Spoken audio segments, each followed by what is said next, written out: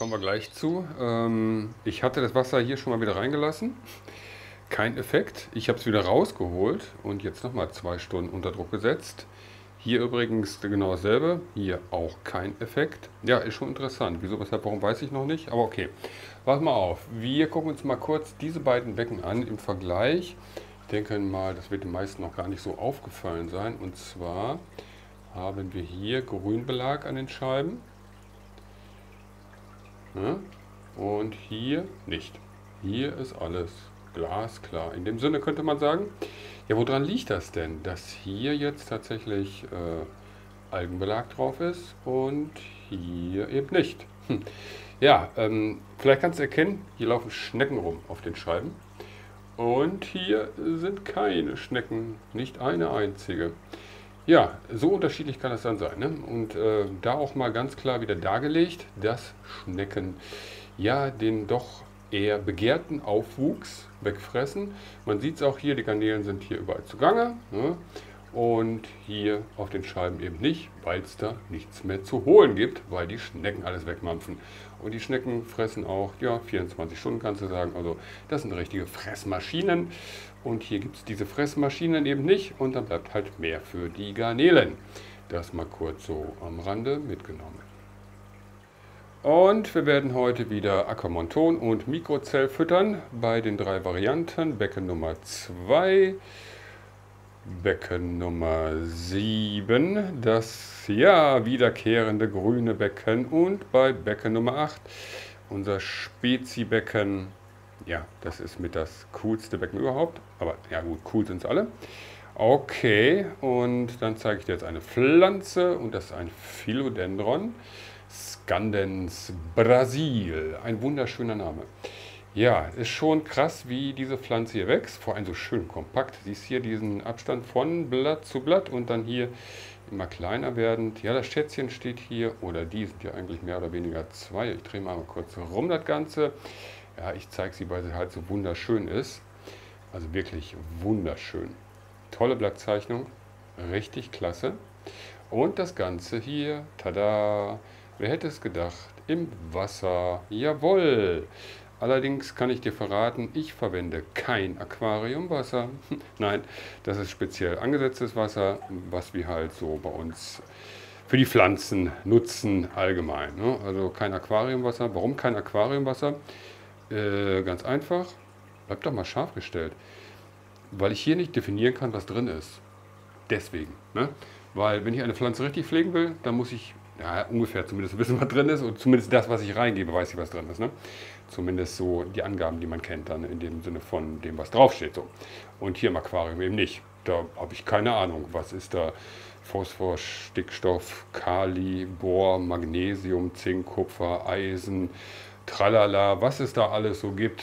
Das kann mir keiner sagen, selbst ich nicht, obwohl ich die Aquarien kenne. Und weil hier Salze drin sind. Ne? Und vor allen Dingen Salze, die für die Pflanzen die normalen Pflanzen, sage ich mal, nicht verwertbar sind. Und von daher verwende ich das Aquariumwasser hier nicht. Anders wäre es, wenn ich jetzt Leitungswasser verwenden würde in Aquarien. Dann könnte ich dieses auch nutzen, um meine Pflanzen damit zu gießen. Okay. So, ich stelle ihn mal wieder in sein Becherchen rein hier. Becherchen im Becherchen, damit er schön abgedunkelt ist. Dann hat man auch nicht so Probleme mit Algen. Ist wirklich eine sehr schöne Pflanze. Philodendron scandens Brasil. Ach, ist das ein herrlicher Name, ne? So, mein Lieben, ähm, ich wollte heute eigentlich gar nicht filmen, bin ich ganz ehrlich. Und jetzt gucke ich hier gerade so in die Runde und denke mir, ach, weißt du was? Komm, mach doch mal die Kamera an, mach das, äh, wozu du Bock hast. Und das werde ich jetzt machen. Ich werde jetzt was machen? Ich werde mir jetzt ein Eis essen. Und zwar um halb elf zur Nacht. Ja, weil ich einfach Bock drauf habe. So, und das äh, mit den Kisten, das ärgert mich jetzt, muss ich sagen. Ich meine, das war ja so ein tolles Phänomen, dass dort diese Luftblasen zu erkennen waren damals. Und jetzt jedes Mal, wenn ich das Ding wieder unter Druck setze, das Wasser, passiert gar nicht. Ja, nicht, nicht gar nichts. Im letzten Film hatten wir gesehen, dass doch ein bisschen was zu sehen war. Aber nicht dieser Effekt wie damals anfangs. Und auch hier bei dem anderen, wo ich es jetzt das erste Mal gemacht habe, nichts zu sehen. Tja, ich bin mir noch nicht schlüssig, woran es liegt. Ein Fakt könnte der Tatsache gewesen sein, und zwar, dass ich zu viel Wasser drin hatte hier und zu wenig Luft. Ich habe mal so einen Liter, Liter, das ist bis hier, ne? und Rest dann eben Luft. Und jetzt habe ich mal 0,75 Liter genommen, also ein Dreiviertel Liter und den unter Druck gesetzt und den fülle ich gleich im Laufe des Filmes dann nochmal ein und mal gucken, ob man dann wieder doch einen Effekt sehen kann. Vielleicht liegt es ja tatsächlich an der Menge an Luft im Verhältnis zum Wasser. Versuch macht klug, ist so, ne? Weil ich kann es mir nicht erklären, wieso, weshalb, warum das jetzt so ist. Okay, es ist so, wie es ist. Ich gehe jetzt ein Eis essen und dann sehen wir uns gleich wieder. Ja. So, damit du mir es auch glaubst, dass ich Eis esse jetzt in der Nacht. Hm. Vanille. Oh. Nein, nicht vegan. Auf keinen Fall. Ja, warum sitze ich jetzt hier? Ganz einfach, um das Eis zu genießen. Und um dir zu zeigen, dass ich das mache. Halt mal auf. Ähm, ich nehme mir viel zu wenig Zeit, mich hinzusetzen und mal das Ganze in Ruhe zu betrachten, weil mir die Zeit manchmal einfach fehlt. Und deswegen dachte ich mir, setze ich mal hier hin, betrachte das Ganze mal wirklich in Ruhe und gucke dir mal die ganzen Details an. Denn ähm, ja, es ist einfach mega spannend, äh, die ganzen verschiedenen Blickrichtungen ähm, schweifen zu lassen und ähm, einzutauchen in die ganze Materie der Unterwasserwelt. Ne, das ist nämlich eigentlich mit der Spannendste an der ganzen Sache.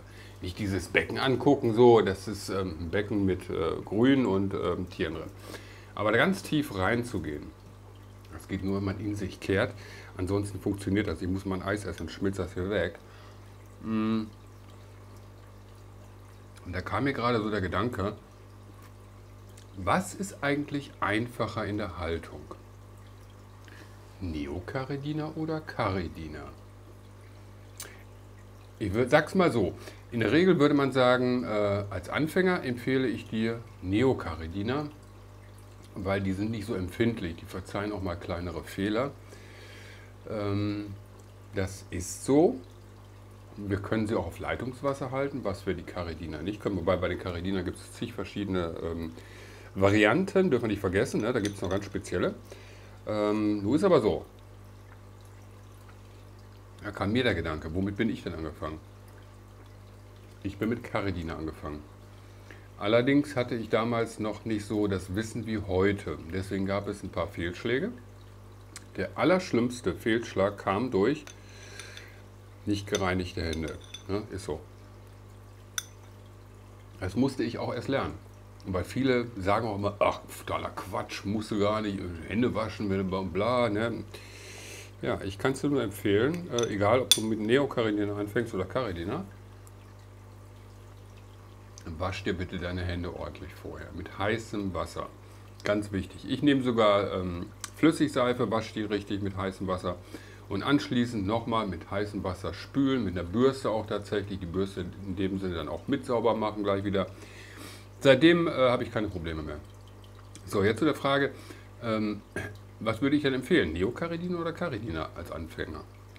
Ich bin ganz ehrlich, also ich würde, wenn ich schon mit den Gedanken spiele, Caridina mir zu halten, weil sie auch, ich sag's mal so wie es ist, wesentlich interessanter sind, nicht nur von den Farbgebungen her, sondern auch von den Kreuzungen, die man machen kann selber und daraus wieder ganz neue Populationen entstehen lassen kann. Das ist wesentlich interessanter als bei den Neocaridina.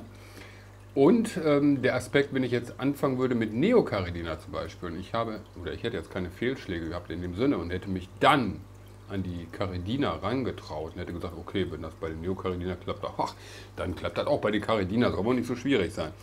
Ähm, der Aspekt liegt darin, dass, dass man dann unvorsichtig ist, weil man die Erfahrung gemacht hat mit den Zwerggarnelen, dass die gar nicht so schwierig, würde ich gar nicht sagen, gar nicht so kompliziert zu halten sind. Ne? Also äh, eigentlich unkompliziert. Wenn man sich dann aber an die Thematik mit den Caridina ranwagt und da unvorsichtig ist und sich so denkt, ach, passiert schon nichts, ne? die Neocaridina können das ab, dann wird die Caridina wohl auch nicht so, so schlimm sein. Ja, und dann ähm, passiert es eben, dass man eben nicht so achtsam ist. Ne? Und dann kann es natürlich zu Fehlschlägen kommen und dann raufen einem die Haare zu Kopf und hast du nicht gesehen. Deswegen würde ich sagen, wenn man schon mit dem Gedanken spielt, sich Caridina zu halten, dann sollte auch man auch damit anfangen und sich informieren. nicht zwingend bei mir, kannst dich auch woanders informieren. Es gibt auch Bücher, wo man sich informieren kann. Aber geschriebene Worte sind geduldig. Ähm, ich sage immer, besser ist zu sehen, was gemacht wird, ne, als wenn man sich liest. Ich habe mir damals auch Bücher gekauft, habe mir die durchgelesen und tralala. Aber es stand auch nicht wirklich irgendwo, dass es ganz wichtig ist, ähm, dass ähm, ja, die Hände eben, oder nicht nur die Hände, auch irgendwelche Gegenstände oder sonst was, was man ins Aquarium bringt, ne, zum Beispiel, dass man die vorher auch reinigen sollte, kräftig. Oder gegebenenfalls Steine, whatever. So kann es gehen. Eis ist schon alle, gerade bei der Bildschirm aus und dann habe ich noch einen Akku reingepackt und ähm, habe angefangen wieder zu reden und vergessen auf Play zu drücken. So, fünf Minuten später. Äh, jetzt kann ich aber nicht nochmal erzählen, was ich schon erzählt hatte. Äh, wir waren stehen geblieben genau bei Gegenständen. Also Steine, die sammelt, Holz, auch Laub. Egal was, egal was, auch Gegenstände aus dem Haushalt oder sonst was du fürs Aquarium verwendest.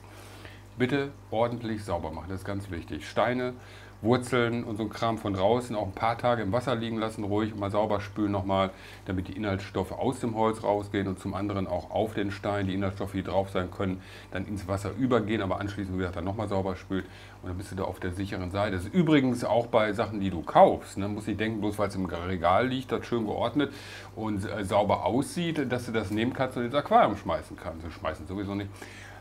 Auch da wäre ich vorsichtig, weil das ist durch tausende Hände gegangen, naja, hm, vielleicht 50 oder 10 oder 100, keine Ahnung. Äh, lag an verschiedensten Orten, an verschiedenen Luften, sagen wir mal, und Duften, whatever. Sprays, keine Ahnung, ne, weiß man alle nicht. Mit irgendwas behandelt oder so. Also da wäre ich sehr vorsichtig, denn da kann nämlich ganz schnell was schief gehen und du fragst dich hinterher, was hast du falsch gemacht du weißt es eben nicht. Aber ja, ist eben so. Wenn durch solche Faktoren dann schon was schief läuft und man sich dann Gedanken macht, habe ich jetzt zu viel gefüttert? Ich zu wenig gefüttert oder zu viel Salz drin, also zu viel Mineralstoffe drin. Äh, sei da bitte ganz akribisch und mach nach Möglichkeit alles ordentlich sauber. Dann hast du da auch keine großartigen Probleme und dann ja, passiert eben so schnell auch nichts. Ja, was wollte ich noch? Was habe ich denn noch erzählt vorhin so? Ja, ich habe mein Eis gegessen. Ach so, Kruster Minerals heute dran, Mineralstoffe. Außer Becken Nummer 2, Nummer 7, Nummer 8, da verwenden wir Aquamonton. Aber das ist noch nichts für euch. Das ist hier ein Großtest, den wir machen. Und wir, ich notiere das jetzt auch akribisch tatsächlich, schreibe das alles auf, wann ich das mache. Äh, und ja, dann werden wir im Laufe der Zeit sehen, ob ich euch dann wirklich das so empfehlen kann, weil ich muss abwarten, wie die Tiere jetzt sich verhalten, nicht nur unbedingt, sondern die Wachstumsphasen, die sie haben, mit der Häutung, allem drum und dran, ob das wunderbar funktioniert damit ne, oder ob es da Probleme geben wird. Gegebenenfalls werde ich dann eingreifen. Sorry. Aber es könnte ein sehr interessantes Thema werden. Aber Mineralstoffe sind wichtig. Es muss nicht unbedingt das hier sein, was ich verwende. Das ist das, übrigens das Nano Cruster Mineral von Dennerle. Ähm, in Staubform. Der Vorteil bei, der Staubform, bei dem Staubform ist, dass es ins ganze Aquarium sich verteilt. Ne? Im besten Fall gibt es auch vorher so ein kleines Pinneken. Wo habe ich den jetzt stehen? Da hinten ähm, bisschen Wasser rein, schütteln und dann ins Wasser geben, dann verteilt sich das noch besser, als wenn du es jetzt so pur reinkippst, dann fällt das nämlich zu Boden gegebenenfalls nur. Also dass es sich gut verteilt, dass auch die Babys und alle drankommen, auch die Mikroorganismen, die im Substrat sind oder im Bodengrund, Substrat, ja im Prinzip ist es auch Substrat. So, ähm, ja, das mir fällt jetzt leider nichts mehr ein. Das ist so, wenn du schon alles weggequatscht hast, ne? ist, es, ist es eben weg. So, ist aber nicht so schlimm. Das heißt im Klartext, ähm, wir machen gleich noch irgendwas, aber ich muss euch jetzt nicht nochmal zeigen, wie ich das mit dem Aquamonton mache. Ne? Das haben wir schon mitgenommen. Dafür ist es ja eine Serie, dass man sie auch guckt und nicht erwartet, dass in einem Film plötzlich alles drin ist. Das geht nicht. Das, äh,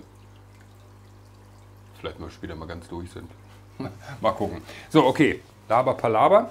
Ich denke mal, das war doch wichtig, jetzt mal mitzunehmen, was ich so für Gedanken habe zum Thema Neocaridina zu Anfang oder doch lieber gleich Caridina, wenn man sowieso mit dem Gedanken spielt?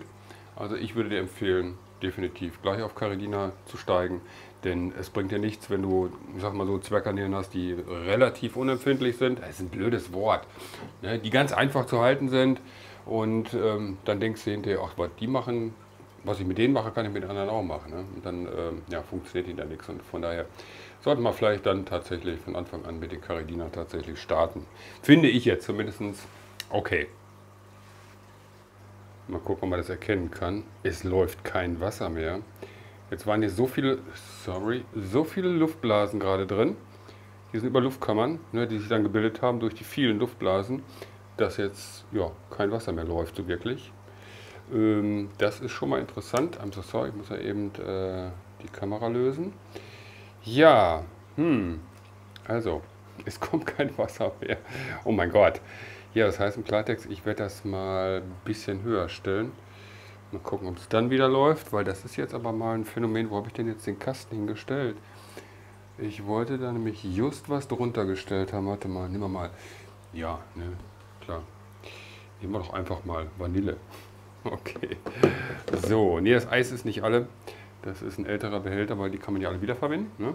So, jetzt läuft es wieder, wie du sehen kannst. Aber ah, das ist mal interessant, ne? dass sich da so viele Luftblasen entwickeln, äh, ja, dass sich dann große Kammern bilden. Luftkammern tatsächlich. Ja, okay.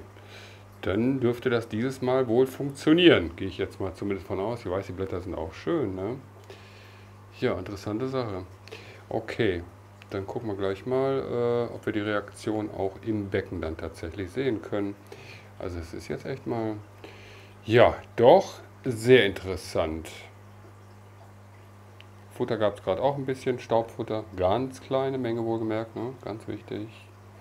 Okay, dann warte ich noch ein bisschen. Spannende Sache hier mit dem Aquarium. Ich weiß nicht, ob man die jetzt erkennen kann, denn hier sind klitzekleine Babys. Da ist zum Beispiel eins. Ja, die kriegen wir jetzt nicht drauf. Die sind so klitze, klitzeklein noch. Vielleicht kann man sie schemenhaft erkennen. Auf jeden Fall. Da sitzt einer. Tada! Auf jeden Fall geht es denen gut hier drin. Ne? Also dem macht das nichts aus. Aber wichtig ist natürlich auch die, nachdem wir wissen, dass den Tieren das nichts ausmacht, die Reaktion halt so insgesamt auf ja, die Biologie, wenn man das denn so sagen möchte. Ach, ich sehe gerade, ich habe das noch auf manuell stehen. Die Belichtung äh, passt eigentlich. Ne? Ich würde sagen, es ist okay. Ja, das passt. Ja, tolle Sache dass man dann auch mal die Babys zu Gesicht bekommt. So kann man ihn erkennen da oben. Da sitzt er und noch eine und noch einer. Ja, es wird spannend, wenn die Babys heranwachsen, welche Farben die dann haben. Das wird eine spannende Geschichte. Ach, wie vieles andere auch. Ne? Also pass mal auf, dann können wir mal kurz gucken. Ähm, es gab nämlich jetzt heute wieder Aquamonton. Ne? Aquamonton und Mikrozell. Ich mache dann einfach hier mal so Gänsefüßchen. Ne, wenn nicht, dann streiche ich es durch und heute ist am 23.08. Gestern gab es nur Mikrozell. Ne, so mache ich das immer so mal, mal so, mal so, mal so. Auf jeden Fall halte ich das uns fest, damit wir wissen, wie das so funktioniert.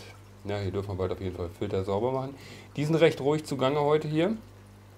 Ähm, ich hatte gefüttert, habe das Futter wieder rausgeholt, weil ich das Gefühl hatte, die wollen nicht so richtig. Also die sind irgendwie pappesatt heute hier. Die sind alle Pappe satt. Die schönen Galaxy Pinto Red.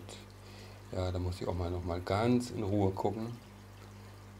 Ganz in Ruhe. Guck mal, wie schön die sind. Die Galaxy Pinto Red. Haben die eigentlich ein neues Blatt bekommen? Ich gucke gerade mal. Doch, ja, da hinten liegt das. Da hinten liegt das, ja. Da gucke ich jetzt auch, dass ich regelmäßig das reinlege. Ne? Walnussblatt grünes Walnussblatt frisch gepflückt, im Raum getrocknet und dann verfüttert. Das dauert so zwei Tage bis drei Tage und dann fallen die da voll drüber her. Und dann bleibt da nichts mehr übrig. Ach, das ist auch ein toller Trupp hier geworden. Bin mal gespannt, äh, wie die nächsten Nachkommen aussehen. Ich hatte schon mal Babys entdeckt hier, aber die sind so schwer zu finden, weil die sich gut verstecken können. Entweder im Lavagranulat hier ne, oder im Moos verstecken sie sich auch gerne. Übrigens, das Moos sieht auch nicht mehr so gut aus unter der Lampe hier. Das wird auch leicht bräunlich. Also das ist zu stark, das Licht. Die Lampe muss da wieder drunter weg. Das hat nicht wirklich Sinn. Also liegt es tatsächlich an dem Licht, dass uns das Moos hier dahin geht. Ja, ist so. Machst du nichts, ne? Ist einfach so. Guck, wenn wir schon mal hier sind, ich gucke mal kurz hier nochmal hier bei unserem grünen Becken. Noch können wir sie sehen, ne? noch können wir sie sehen. Die haben das Blatt auch schon aufgemampft hier. Boah, oder die Waldfee. Aber da gehen jetzt Montag welche auf die Reise. Da hinten liegt ein Blatt, das kann man nur noch schemenhaft erkennen. Ja, siehst du wohl. Wir schauen jetzt mal von oben in den Hang-On-Kasten rein, auch wenn das jetzt ein bisschen halt. Ähm, ja, die Tiere sind gut gewachsen, muss ich sagen, die Babys. Es sind noch kleinere dabei. Und eine Mutti ist tatsächlich noch hier drin, die müsste ich auch rausfangen. Die hat ihre Babys nämlich schon entlassen. Ja, da stellt sich mir jetzt die Frage, sorry, ob ich das angehe. Wo ist sie denn? Da. Da ist sie. Da, da, da, da, da kann man sie vielleicht so ein bisschen erkennen ob ich das angehe und den Kasten leer räume jetzt. Ich bin gerade im Überlegen, wie wir am besten vorgehen, weil die sollen jetzt nicht hier rein, denn das ist zum Teil noch kleinere bei. Und äh, ja, nicht, dass sie als Futter angesehen werden, das will ich ja nur auch nicht, ne? Weil ich will ja nur auch gucken, was bei den Kreuzungen so bei rumkommt. Ja, hm, hm, hm, hm. wie machen wir das? Weil es wäre doch schön auch wirklich zu sehen, was sich daraus entwickelt, ne? Sicher, der eine oder andere wird wohl überleben, aber eben dann doch nicht alle. Ich überlege mal kurz. Einmal den Hang-On-Kasten noch von nahem gesehen. Ja, ich habe schon auf manuell stehen, deswegen ist es ein bisschen dunkel, weil hier vorne ist es einiges heller. So, mal gucken, ob wir das so hinbekommen. Ja, so ungefähr könnte das passen. Ähm, pass mal auf. Also, hier kommen die jetzt rein. Deswegen habe ich es dunkler gestellt, damit das äh, ne, hier nicht zu sehr blendet. Also, als allererstes müssen wir ein bisschen Wasser rausholen, würde ich sagen, damit wir, wo ich den jetzt mal einen alten Kanister, der steht da, ähm, damit wir sie umsetzen können. Ich werde sie jetzt aber nicht einzeln rausfangen.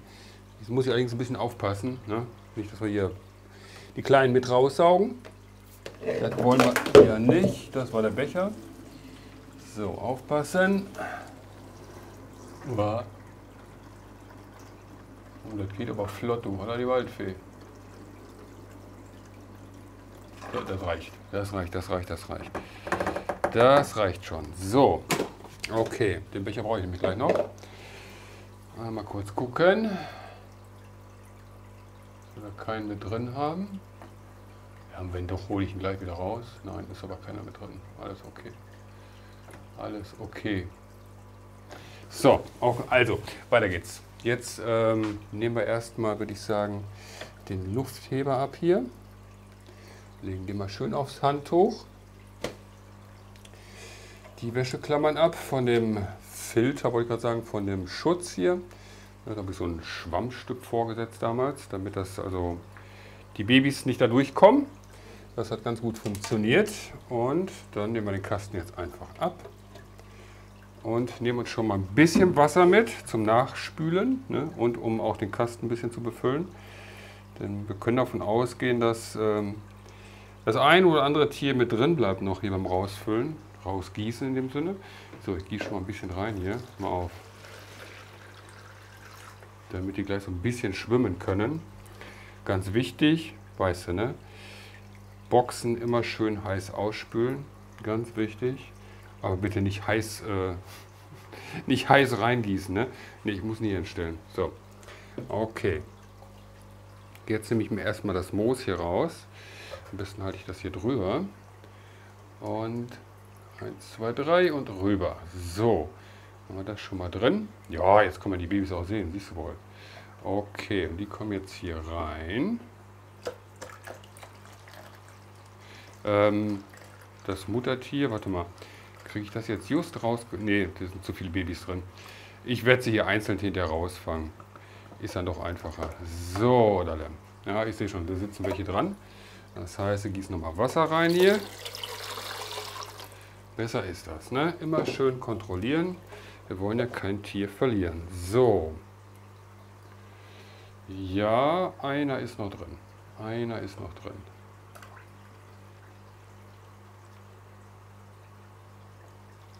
So, ich kontrolliere trotzdem nochmal. Besser ist das, ne?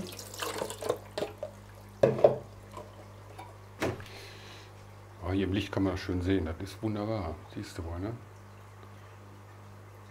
Ne, da ist jetzt keiner mehr drin. An Scheiben klebt auch keiner. Aber das ist schon wichtig, das zu kontrollieren, ne? So, kommt ein bisschen Wasser rein. Und dann kann ich den Kasten schon mal wieder hier hinhängen. Denn der bleibt in Betrieb, also den nehmen wir jetzt nicht außer Betrieb, sondern der bleibt in Betrieb. Und da braucht man großartig auch nichts dran machen. Ich werde das einfach wieder dranhängen hier. Und wenn ich gleich den, die Pumpe wieder anstelle, die mache ich ja mal aus, beim, äh, wenn wir filmen, dann ist auch übrigens hier die Pumpe aus. Ach, kannst du gar nicht sehen. So, okay. Ja, siehst du wohl. Haben wir das schon geschafft? Ein bisschen Wasser kommt noch rein. Hier machen wir es in der Verfahrensweise genauso wie bei anderen Becken auch. Also ohne Bodengrund oder so, sondern tatsächlich nur mit dem Wasser. Für heute ist es erstmal okay. Ich werde dann morgen ein bisschen frisches Wasser dazu packen. Denn hier ist der pH-Wert etwas höher, aber das sind die jetzt gewohnt, von daher ist das nicht ganz so schlimm. So, okay. Ja, das war's. Jetzt bleiben Sie hier drin, so lange, bis ähm, ja, wir sie selektieren. Wie gesagt, Weibchen muss ich noch rausfangen. Ähm, Kesche habe ich schon mal hier. Mal eben gucken, wo sie ist. Vielleicht kriege ich sie ja direkt jetzt raus, wäre ja ganz schön, ne? Ziehen wir einfach mal. Kannst du sie sehen? Nein? Die hängt jetzt irgendwo im Moos drin. Super. Die hält sich irgendwo im Moos fest. Da ist sie. Da, da, da, da, da. Nein, du sollst dich nicht wieder dran. Die hat sich da wieder reingehangen. Glaubst du es wohl? Crazy, crazy baby. Nee, komm, dann lassen wir das. Wir wollen sie jetzt nicht stressen, ne? Die hat Angst jetzt und dann äh, ist okay. Siehst du wohl, hat sie einen Schock gekriegt oder was? Ach, die hält sich am Moos fest. Nee, die hat einen Schock jetzt. Oh, cool. Die, ja, ab ins Moos. Alles gut, alles gut, alles gut, alles gut. Nee, die lassen wir lieber in Ruhe. Nee, wollen Sie nicht stressen, das machen wir nicht. Dann gucken wir da morgen nach und holen Sie sie dann raus. Ne? Also das wäre jetzt nicht so der Burner, wenn Sie mir jetzt noch hier vor Schock dahin geht. Nein, das soll ja nur nicht sein. Dann warten wir lieber bis morgen. Na gut, das Tier ist auch schon etwas älter. Nee, dann müssen wir ein bisschen vorsichtiger sein. Nicht zu viel stressen. Die kriegen wir jetzt auch nicht zu Gesicht. Die ist wieder ins Moos gekrabbelt. Ja, okay. Dann haben wir es doch jetzt endlich geschafft. Und dann kommt hier... Mal gucken, ob ich sie gleich fange. Ich lasse erstmal Wasser rein. Die Garnelen finden es wunderbar. Aber ich kann wieder nicht wirklich viele Luftblasen sehen. So ein bisschen. So ein bisschen. Da kann man es vielleicht erkennen an dem Stiel beispielsweise. Oder da hängt sogar eine dicke Luftblase drin. So ein kleines bisschen kann man erkennen, aber nicht wirklich viel. Da auch eine Blatt beispielsweise. Aber sieht schon ganz gut aus. Ja, ist auf jeden Fall interessant, äh, dass dieser Effekt nicht so heftig ist wie damals. Ne? Da sieht man auch ein paar Luftblasen. Ja, okay. So, und dann können wir demnächst auch mal die Kleinen hier ein bisschen besser beobachten. Die sind natürlich total irritiert jetzt hier komplett. Ich weiß nicht, ob die ganz Kleinen auch erkennen, erkennen kann. Sie wursteln da überall rum. Überall. Und die Mutti, die hängt da irgendwo drin. Also da muss ich ein bisschen aufpassen. Das ist schon eine ja, ältere Dame. Ne? Die wollen wir dann nicht so ärgern und stressen. Aber toll. Ne? Das ist dann doch auf die Art und Weise jetzt erstmal, dass sie umgezogen sind. Ich gehe mal kurz auf die andere Seite. Mal gucken, ob wir sie doch noch zu Gesicht bekommen. Wäre ja ganz schön. Da ist er.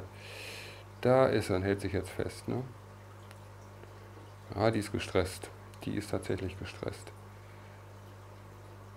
So, ich würde sagen, so in zwei, drei Wochen können wir mal gucken, ob wir da ein schönes Tierchen bei haben. Zum Ausselektieren, zur Weiterzucht.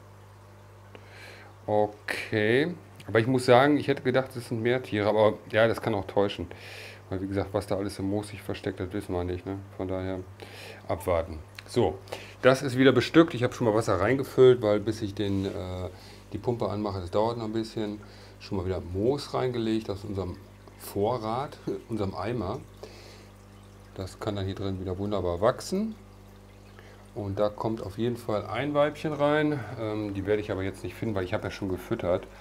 Und von daher muss ich warten, bis ich sie irgendwann mal sehe und zu packen kriege. Ich will jetzt nicht das Becken durchwursteln, deswegen hier, das muss ich nicht machen. Ne? Nein, das machen wir nicht. Wir warten dann einfach mal, bis sie sich zeigt.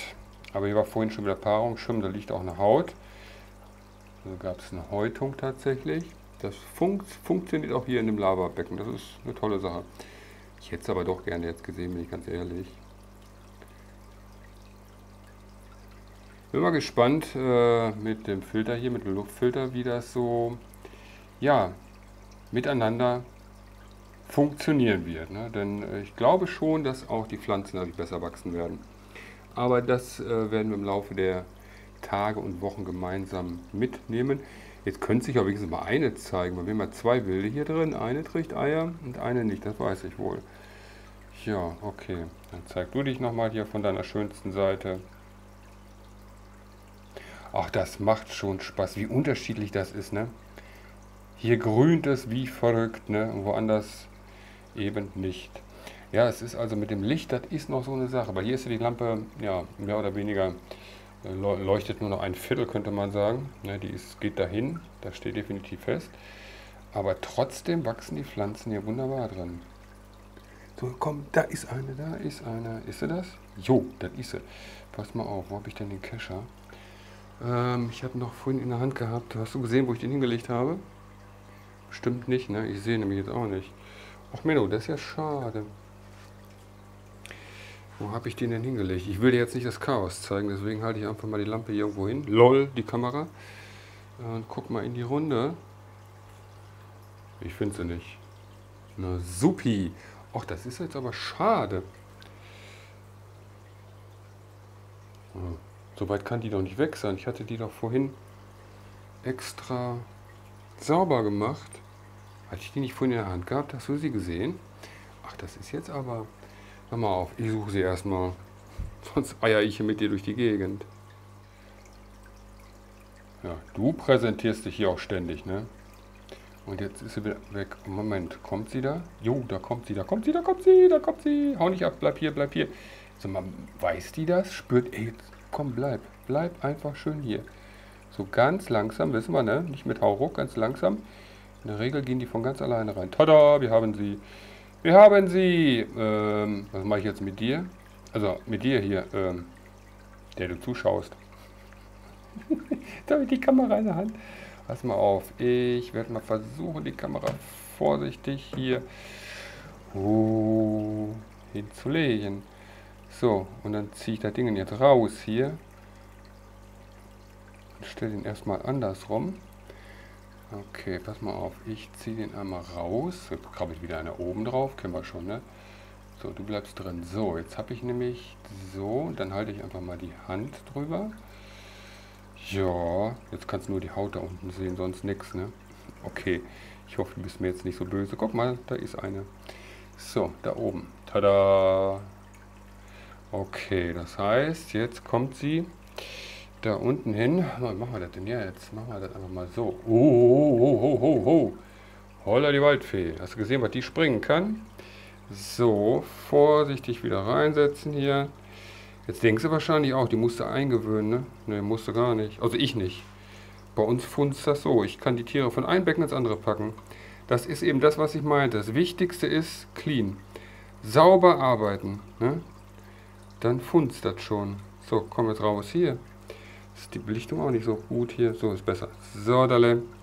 Drin ist sie. So, dann kann sie da ihre Babys bekommen. Der Schwamm hängt da auch wieder vor. Ja, siehst du wohl. Haben wir es dann doch geschafft. Meine Güte, nee, zeige ich dir uns die Klammern. So, okay. Okay. Eine wilde ist noch drin, die darf sich noch verpaaren. Und wenn das denn soweit ist, dann zieht sie auch zu der anderen da unten rein. Gerade just entdeckt. Also man kann ja so oft reingucken, wie man will. Man entdeckt immer wieder mal andere Tiere. Guck mal, wir haben eine rote oder rötlich mit schwarz gestreift. Ja, auch eine ganz hübsche, muss ich sagen. Hier siehst du wohl. Kommt immer wieder mal was Neues hier aus dem Becken. In dem Sinne aus den Kreuzungen. Ja, siehst du wohl. Dolle Sache. Es lohnt sich doch manchmal länger zu gucken. Ne? Aber ich habe auch schon bei manchen Tieren, dass ich also wirklich ein, zwei Wochen gar nicht gesehen habe. Aber das ist jetzt eine, die sich mal so ein bisschen rauskristallisiert aus dem Trupp hier insgesamt. Schönes Tierchen. Wunderschön. Dann konnten wir heute doch gemeinsam einiges machen. Ich stelle den Kasten mal eben drunter hier denn ich muss den einen wieder aufmachen, damit hier Luft reinkommt.